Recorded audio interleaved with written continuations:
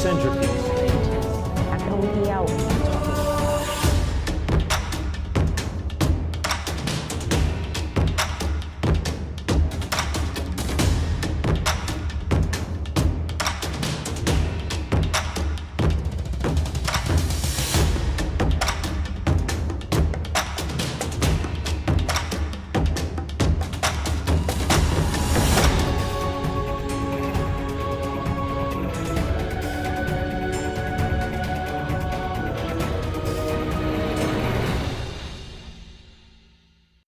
中国国家博物馆馆长王春法，很高兴跟你视频连线。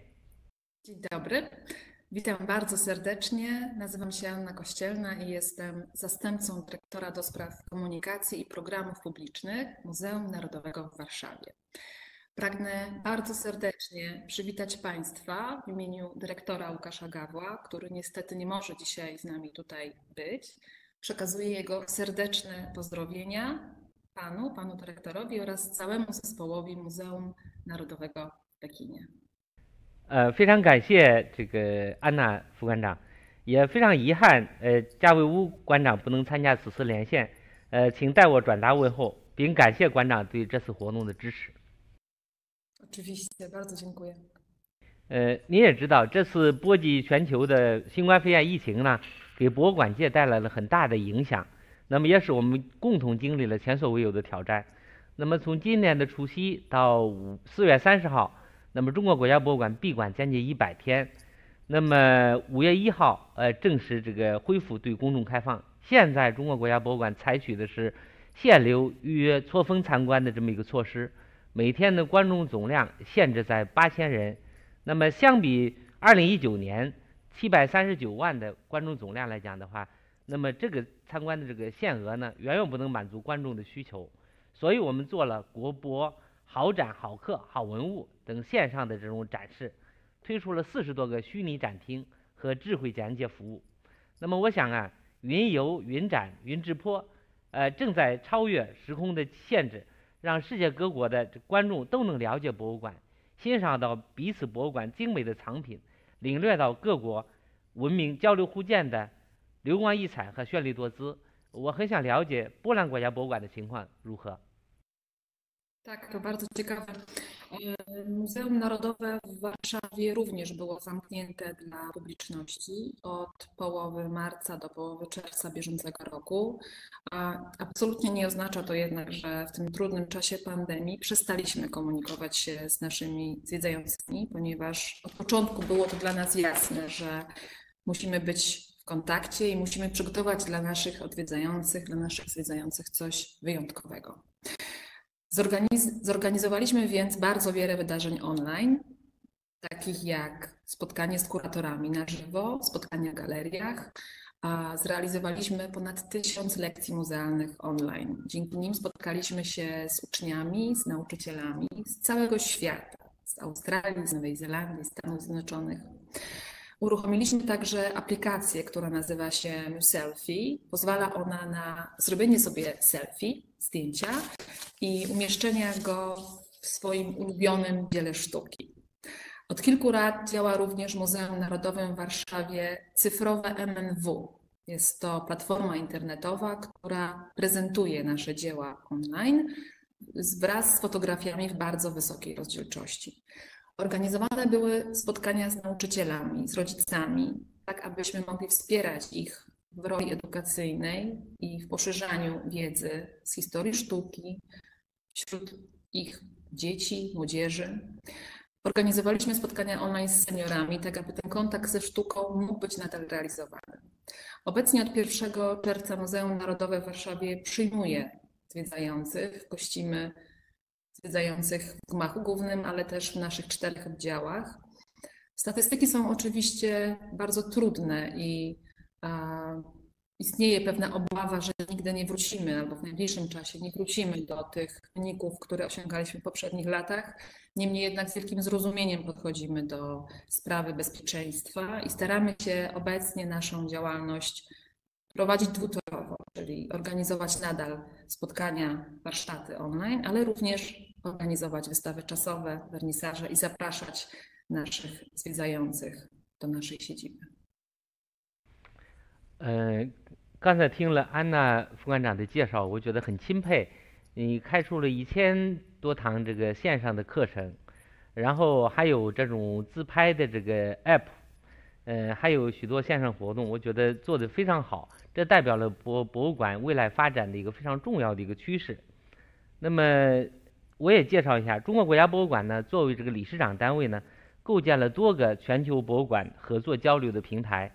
那么，包括这个丝绸之路国家博物馆联盟啊，全球博物馆馆长论坛等等，我们结交了世界各地的朋友，也包括您的博物馆华沙国家博物馆在内的一些重要的博物馆，相信我们会有更大的作为。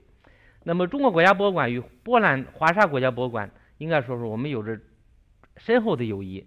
那在两千零六年的时候，呃，中国国家博物馆中国古代青铜器展就在华沙国家博物馆举办。那么近年来，我们两个馆之间的交流也非常频繁，呃，保持着非常良好的一个合作关系。去年在北京，我们与贵馆一道举办了“书房共享”这个展览，那么展现了丝绸之路沿线以及世界范围内各个历史时期文明之间的交流互鉴，也让中国观众领略了波兰悠久的历史和灿烂的文明。那么在这里面，我也真诚的邀请。呃，波兰呃华沙国家博物馆加入到丝绸之路国家博物馆联盟这个大家庭里面。那么在未来的五年，我们可以签署新的 M O U，开展多方面的交流合作，推动两馆的合作不断的迈上新的台阶，向两国观众呈现更多的精品展览。那么这一次呢，我们邀请了全球十几家国家博物馆共同参与这项接力活动。相信这个项项目不仅可以为我们两个馆。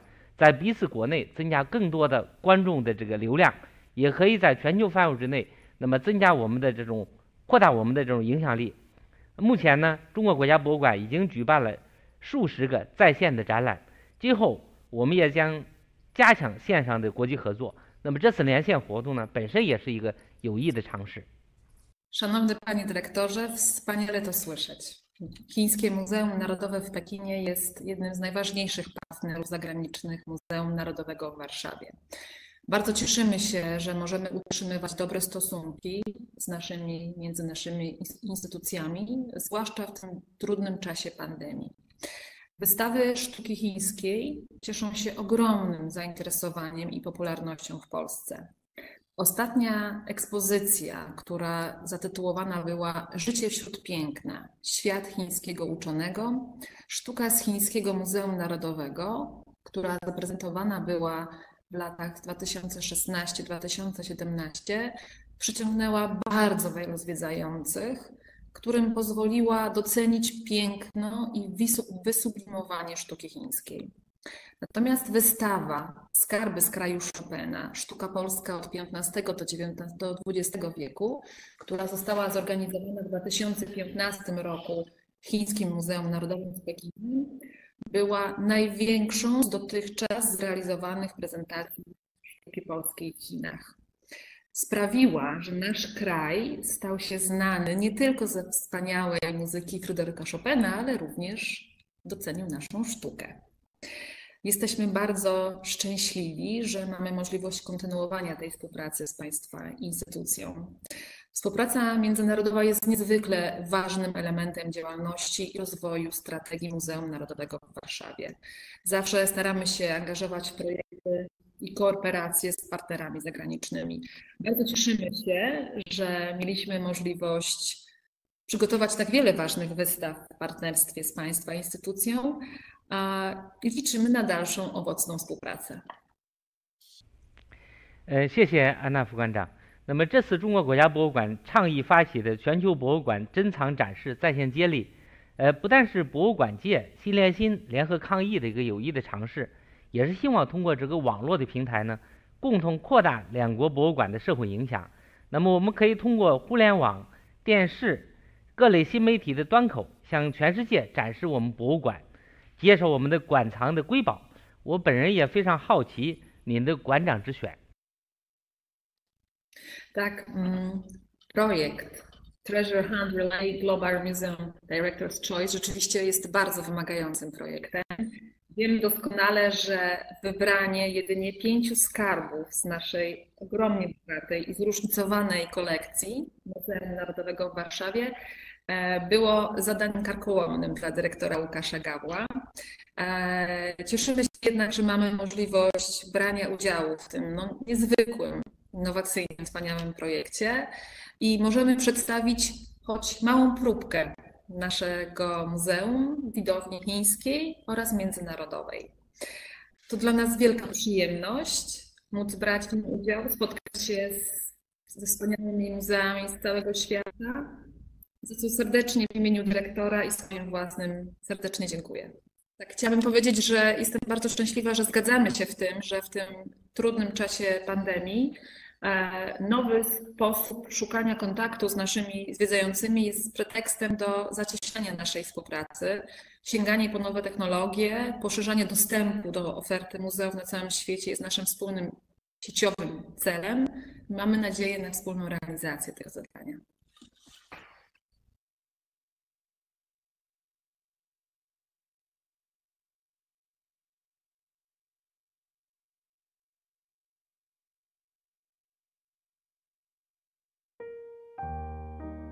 Dzień dobry Państwu, witam serdecznie w Muzeum Narodowym w Warszawie, bez wątpienia jednym z najważniejszych muzeów sztuki w Polsce. Nazywam się Łukasz Gaweł i pełnię obowiązki dyrektora Muzeum Narodowego w Warszawie. Muzeum powstało w 1862 roku w Warszawie jako Muzeum Sztuk Pięknych.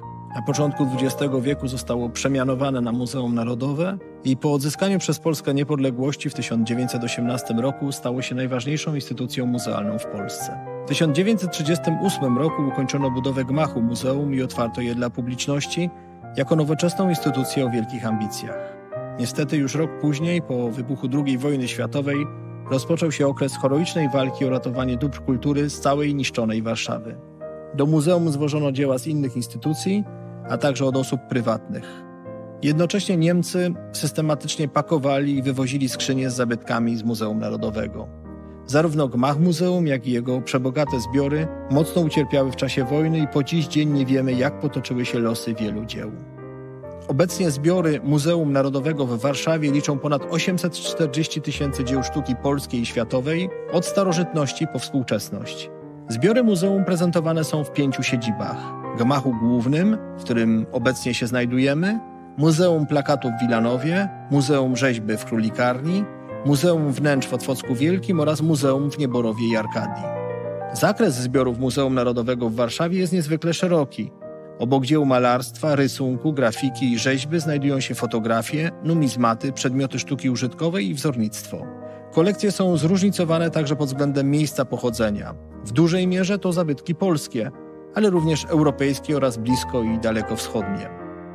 Jedną z największych atrakcji naszego muzeum jest Galeria Faras, prezentująca rezultaty wykopalisk polskich archeologów w Sudanie, pracujących w ramach ogólnoświatowej akcji ratowania dzieł sztuki przed zalaniem w wyniku powstania jeziora Nasera. Zgodnie z podziałem znalezisk między Polskę a Sudan, do zbiorów muzeum trafiło 67 malowideł zdjętych ze ścian wczesnochrześcijańskiej katedry Faras, wiele zabytków kamiennych i elementy wystroju architektonicznego. Zbiory faraskie stanowią unikatową na skalę światową kolekcję sztuki nubijskiej. Galeria Sztuki Średniowiecznej gromadzi natomiast zabytki w większości z okresu późnego średniowiecza, od XIV do XVI wieku, z terenów Europy Północnej i zawiera niemal wyłącznie dzieła przeznaczone do kościołów. Kolekcja wyróżnia się niezwykłą różnorodnością. Prezentujemy tu monumentalne obrazy ołtarzowe rozbudowanej narracji, niewielkie rzeźby, relikwiarze, kielichy. Forma pokazania tych obiektów sprzyja refleksji o przeznaczeniu i sposobach dawnego funkcjonowania dzieł sztuki.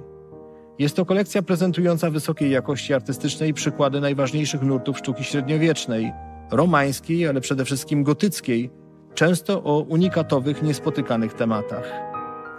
Na zakończenie 2017 roku Muzeum Narodowe w Warszawie przygotowało wyjątkową atrakcję dla zwiedzających. Powstała wówczas Galeria Wzornictwa Polskiego, prezentująca w nowoczesnej formie ekspozycyjnej najważniejsze zjawiska w polskim designie od początku XX wieku po czasy współczesne. W układzie chronologicznym, wyznaczonym przez najważniejsze wydarzenia artystyczne i historyczne, przedstawione są kultowe przykłady dwudziestowiecznych polskich projektów sztuki użytkowej, stworzone niekiedy z wyjątkową inwencją. W Galerii Sztuki Dawnej można natomiast podziwiać dzieła wielkich mistrzów, m.in. obrazy Sandro Botticellego i Lukasa Kranacha Starszego. W zbiorach muzeum znajdują się również grafiki Albrechta Dürera oraz Rembrandta, Paula Cezana oraz akwarela Camila Pizarro. Wśród światowych artystów sztuki nowoczesnej i współczesnej, których dzieła przechowywane są w naszych zbiorach, można wymienić m.in. Pabla Picasso, Jeana Miro oraz Paula Klee. W zbiorach muzeum Bogota reprezentowana jest też sztuka zdobnicza, srebra i metale, ceramika i szkło, meble oraz tkaniny. Są to dzieła polskie i europejskie, powstałe od średniowiecza do początku XX wieku.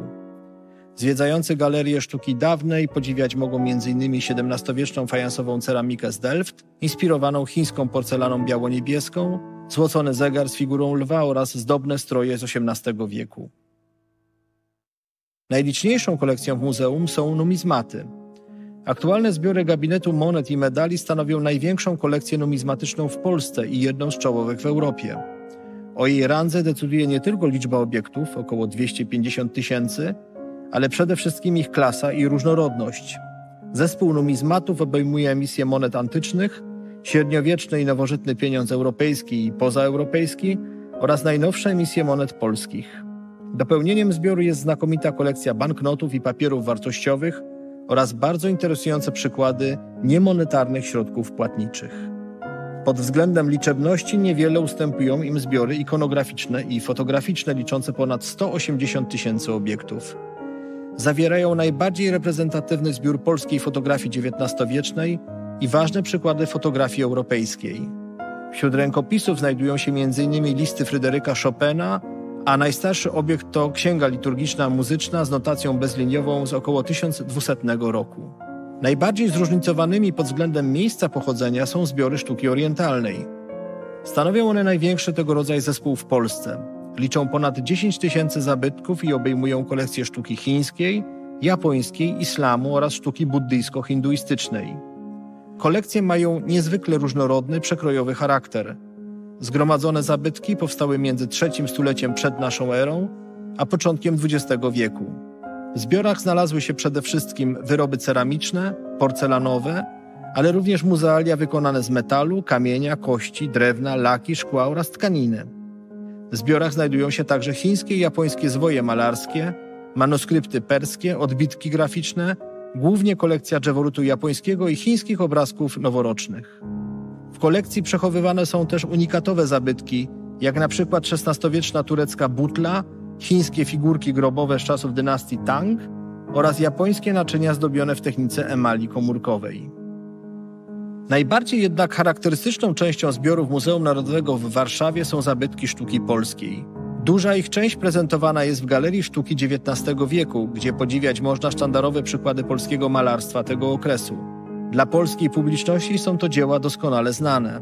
Obrazy te powstały w okresie, gdy Polska nie istniała jako niepodległe państwo, a sztuka, w tym m.in. malarstwo, była ostoją patriotyzmu i tożsamości narodowej. Nazwiska takie jak Jan Matejko, Jacek Malczewski, Stanisław Wyspiański, Aleksander Gierymski, Józef Hełmoński i Olga Boznańska to najwybitniejsi przedstawiciele polskiej sztuki. Ich dzieła zdobiące nasze galerie ukazują najważniejsze kierunki i tendencje kształtujące oblicze sztuki w XIX wieku, jednocześnie uwypuklając cechy, które decydowały o europejskim uniwersalizmie, jak i o narodowej odrębności ich osiągnięć twórczych.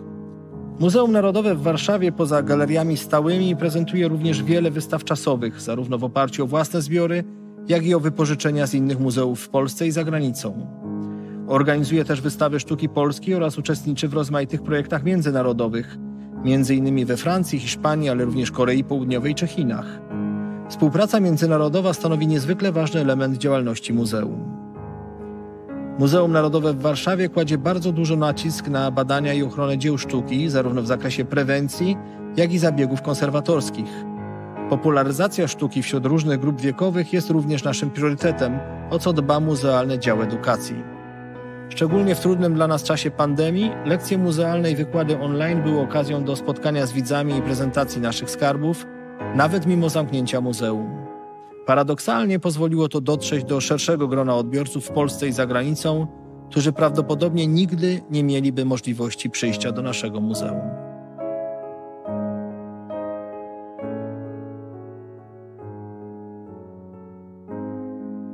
Szanowni Państwo, znajdujemy się w sali Matejkowskiej, e, w której pokazujemy obrazy chyba najbardziej znanego polskiego malarza Jana Matejki.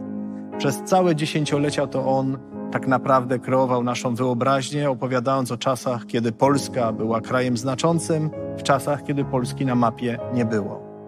Znajdujący się za mną obraz to najsłynniejsze chyba dzieło sztuki w Polsce. Najsłynniejsze, bo nie ma takiej możliwości, żeby skończyć szkołę w Polsce i zobaczyć przynajmniej raz reprodukcji tego obrazu w podręczniku. Ten monumentalny obraz liczy 42 metry kwadratowe powierzchni.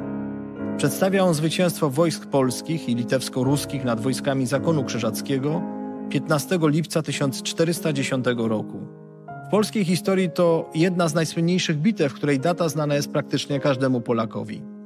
Korzystając przede wszystkim z opisu przebiegu bitwy pod Grunwaldem, zamieszczonego w kronice Jana Długosza w XV wieku, Matejko przedstawił końcową fazę bitwy, odwrót wojsk krzyżackich i śmierć wielkiego mistrza zakonu. Pod względem ideowym i kompozycyjnym przedstawiona na obrazie akcja koncentruje się wokół dwóch postaci: wielkiego mistrza zakonu Ulricha von Jungingen oraz wielkiego księcia litewskiego Witolda, pędzącego jak gdyby wprost na widza, z mieczem wzniesionym do ciosu. Poza nimi obraz wypełniają odwzorowania licznych postaci historycznych, m.in. rycerzy oraz króla polskiego Władysława Jagiełły. Zgodnie z relacją Długosza nad walczącymi wśród chmur i kurzawy unosi się postać świętego Stanisława, patrona Polski. W tłumie walczących postaci odnajdujemy różnorodność typów ludzkich i reakcji emocjonalnych, od triumfu po rozpacz, od rycerskiego męstwa do wściekłości i strachu. Mimo realizmu w odtworzeniu warunków brutalnej walki, artysta potrafił nadać tym postaciom szczególny wyraz wielkości i patosu, nawet bezimiennych wojowników podnieść do rangi bohaterów historycznej epopei. Bitwa pod Grunwaldem ukazująca triumf oręża polskiego nad późniejszym zaborcą, Prusy były politycznym spadkobiercą zakonu, jest wyrazem programu ideowego, który Matejko stworzył w dobie powszechnego zwątpienia i upadku ducha po klęsce powstania styczniowego. Namalowane wówczas dzieła, przypominające potęgę dawnej Rzeczpospolitej, miały krzepić wiarę Polaków w przyszłe odrodzenie ojczyzny, a światu ukazywać moralne i polityczne racje dające Polsce prawo do suwerennego bytu.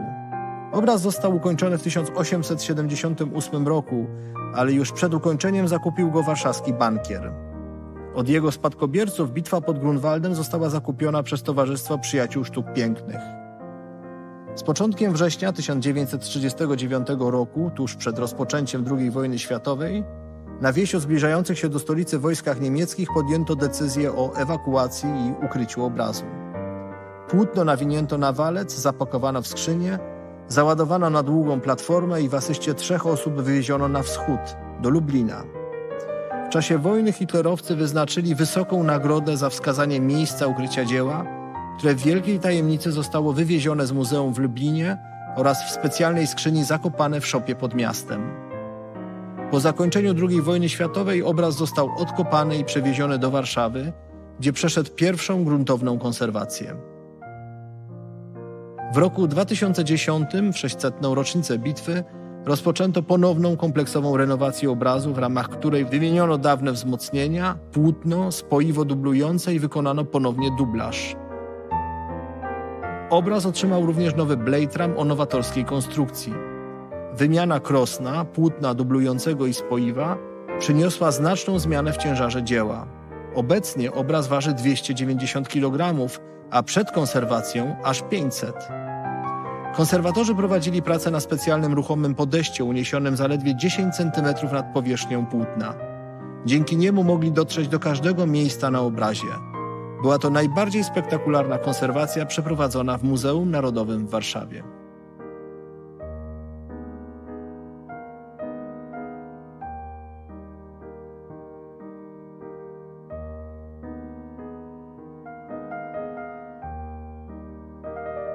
Proszę Państwa, stoimy przed portretem jednego z najwybitniejszych polskich artystów, ucznia Jana Matejki.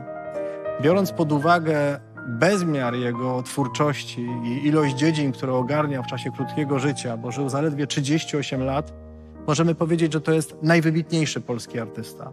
Nie da się napisać historii polskiego dramatu bez Stanisława Wyspiańskiego, nie da się napisać historii polskiego teatru bez Stanisława Wyspiańskiego, nie da się wreszcie napisać historii polskiej sztuki bez Stanisława Wyspiańskiego. Był artystą plastykiem, projektantem mebli, dekorował wnętrza architektoniczne, projektował typografię, pisał dramaty, rewolucjonizował teatr.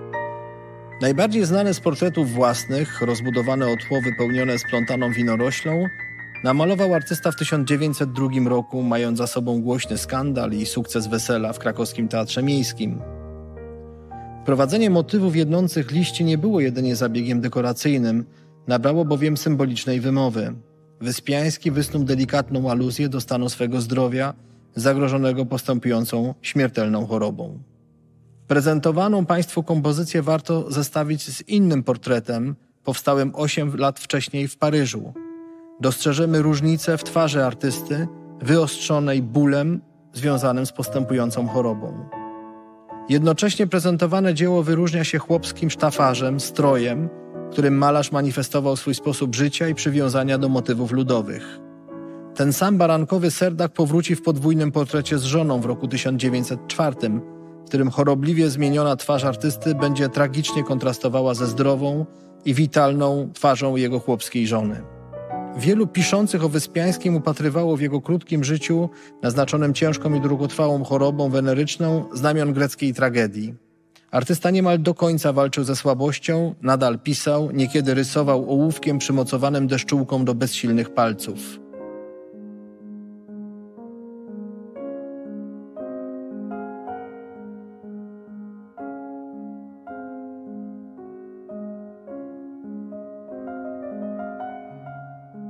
Znajdujący się za mną obraz Aleksandra Gierymskiego, Żydówka z pomarańczami, jest tak naprawdę opowieścią o polskiej kulturze, o trudnej historii polskiej kultury. Ten obraz zaginął w czasie II wojny światowej. Po powstaniu warszawskim zniknął z Narodowego Muzeum i po wielu, wielu latach został odnaleziony w domu aukcyjnym w Niemczech. Ale tak naprawdę ten obraz opowiada o innej stracie, o wciąż bolesnej ranie, o wyrwanej tkance, żywej tkance miasta.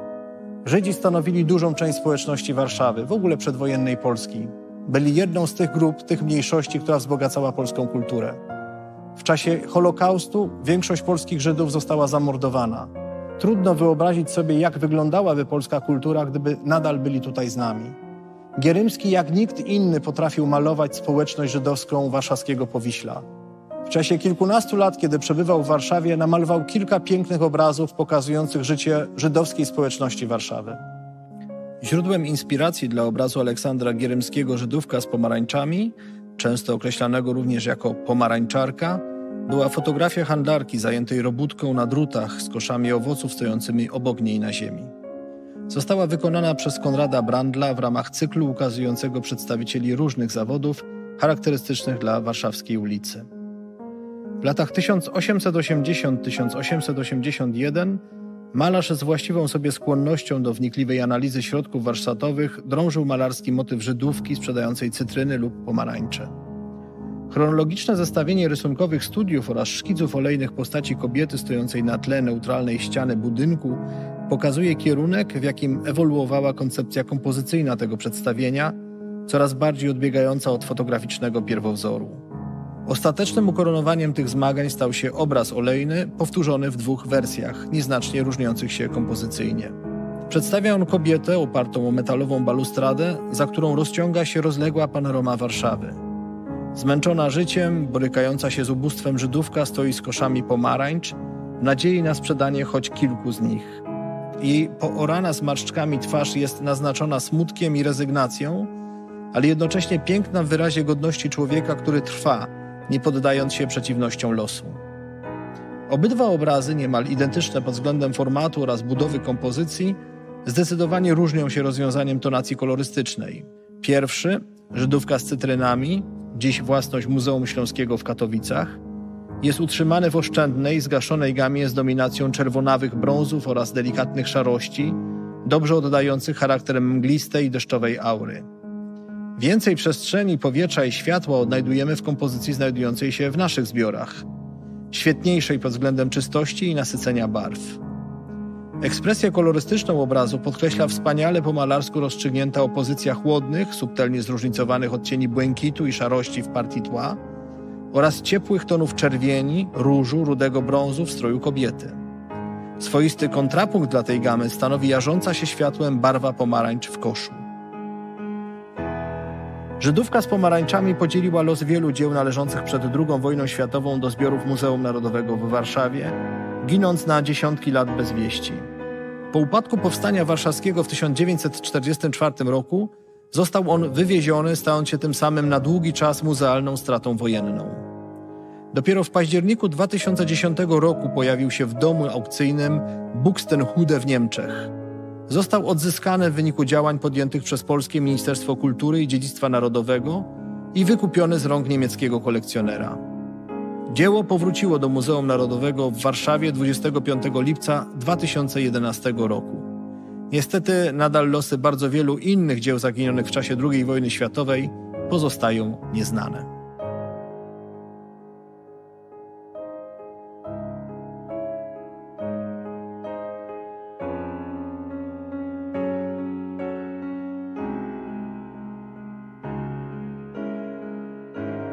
Tylko dwa duże państwa narodowe w Europie nie mają zachowanych regaliów królewskich. Francja, tam zostały zniszczone w czasie rewolucji francuskiej i Polska.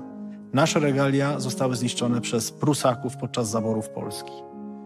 Z tego powodu prezentowane za mną w gablocie regalia Augusta III należą naprawdę do obiektów unikatowych. Jeszcze tylko na Wawelu możemy zobaczyć miecz koronacyjny królów polskich Szczerbiec. Insygnia koronacyjne korona, berło i jabłko Augusta III i jego żony Marii Józefy oraz płaszcz króla to zabytki wyjątkowe. Historyczne regalia polskie przechowywane były w skarbcu koronnym na Wawelu w Krakowie, ówczesnej stolicy Polski. W owym czasie polscy królowie byli wybierani przez elektorów, a przekazywanie władzy nie następowało zatem z ojca na syna. W 1733 roku po śmierci poprzedniego króla, Augusta II Mocnego, ojca późniejszego Augusta III, lekcja jego następcy przebiegła w bardzo dramatycznych okolicznościach. Zwolennicy innego pretendenta do tronu wywieźli historyczne regalia z dawnej stolicy państwa i ukryli w podziemiach kościoła Świętego Krzyża w Warszawie. Fryderyk August, syn Augusta II, znany później jako August III, musiał zatem koronować się insygniami zastępczymi, które obecnie prezentujemy w muzeum. Zastępcze insygnia wykonał w Dreźnie nadworny jubilel elektorów. Użyto ich do koronacji, która odbyła się w katedrze wawelskiej 17 stycznia 1734 roku. Regalia wykonane są ze srebra złoconego i użyto do nich kamieni szlachetnych wymontowanych na tę okazję z orderów saskich, które potem zastąpiono zachowanymi po dziś dzień imitacjami, kryształami i kamieniami półszlachetnymi. Na koronację Augusta III wykonano również imponujący ponad 3-metrowy płaszcz z jedwabnego aksamitu, zdobionego haftem nicią złotą i srebrną oraz futrem gronostaja. Po koronacji w Krakowie insygnia przewieziono do Warszawy, a następnie do Drezna, ponieważ były prywatną własnością monarchy. W Dreźnie insygnia były używane okazjonalnie w czasie uroczystości dworskich przez członków dynastii Wettinów. W nieustalonym czasie i z niewiadomych powodów korona króla została poszerzona o jeden segment i straciła swoją pierwotną, wyważoną formę, podobną do korony królowej, zachowanej w oryginalnym stanie. Do 1924 roku regalia przechowywane były w drezdeńskim Grünes Gdy Saksonia po I wojnie światowej stała się republiką, zostały przekazane zdetronizowanemu królowi Fryderykowi Augustowi III jako prywatna własność byłej rodziny panującej. W tym samym roku zostały wymienione przez właściciela na kolekcję porcelanowych figur miśnieńskich w wiedeńskim antykwariacie. Za pośrednictwem przedstawiciela firmy zakupione zostały przez Muzeum Narodowe w Warszawie w lipcu 1925 roku za 175 tysięcy złotych wraz z gablotą, w której w XIX wieku regalia były eksponowane w Dreźnie. Losy zabytków w czasie II wojny światowej były wynikiem skomplikowanej sytuacji, w jakiej znalazła się Polska w tamtym czasie. W 1942 roku insygnia zostały bowiem zrabowane i wywiezione przez Niemców do Drezna, skąd w 1945 roku zabrała je armia sowiecka, wywożąc z kolei do Związku Sowieckiego. W 1958 roku po omyłkowym przekazie do Drezna odesłano je ponownie do Rosji. Dopiero w październiku 1960 roku regalia za pośrednictwem ambasady w Związku Radzieckim zostały przekazane Muzeum Narodowemu w Warszawie. Tu, w Galerii Sztuki Dawnej, stanowią jedno z najważniejszych dzieł sztuki zdobniczej.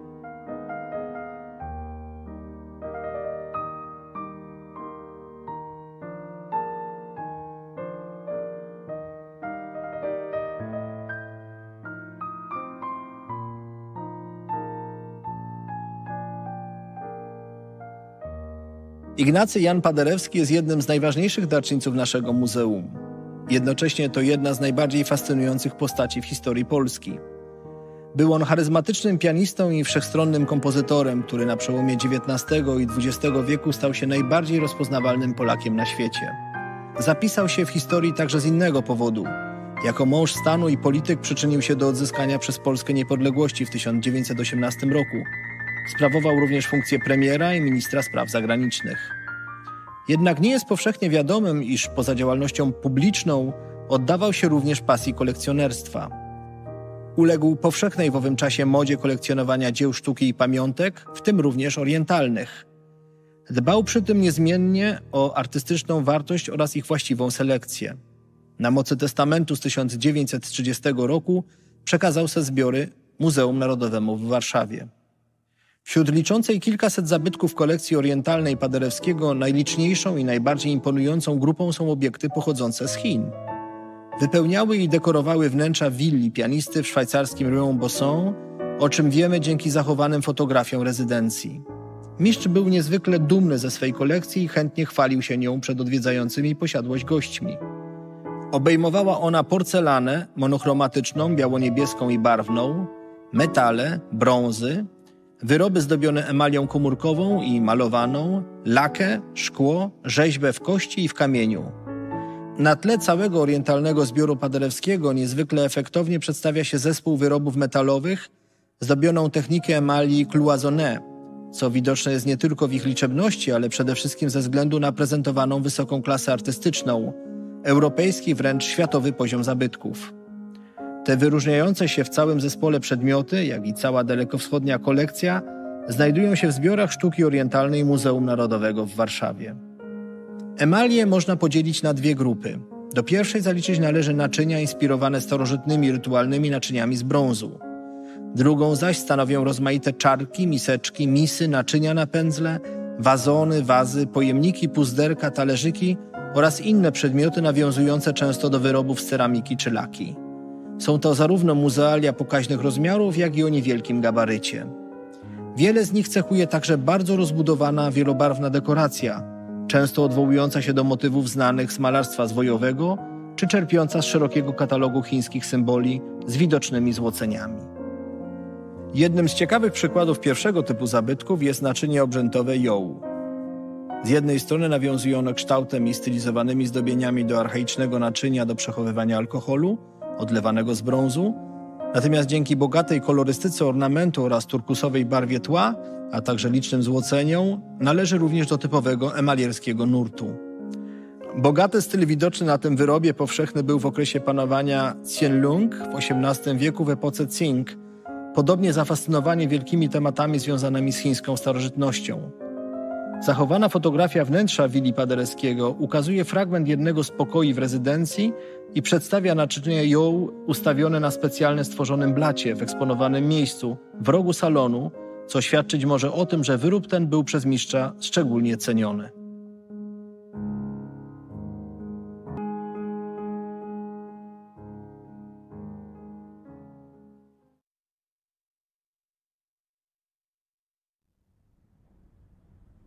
Ladies and gentlemen, I'm very sorry that I cannot meet you all live. First of all, I would like to greet all the fellow directors and our viewers from all over the world.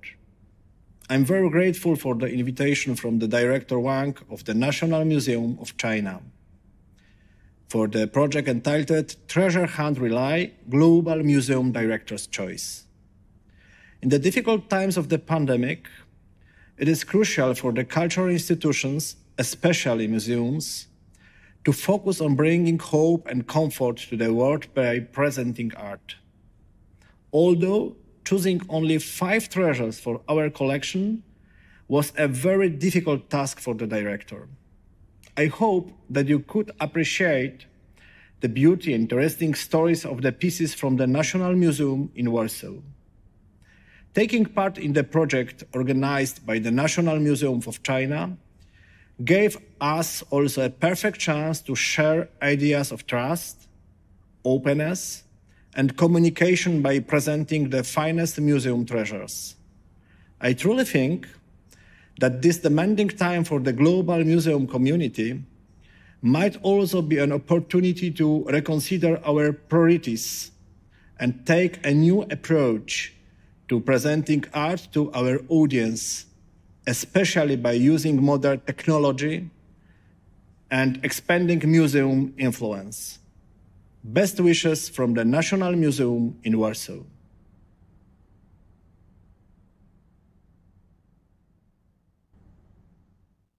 行，非常感谢安娜副馆长。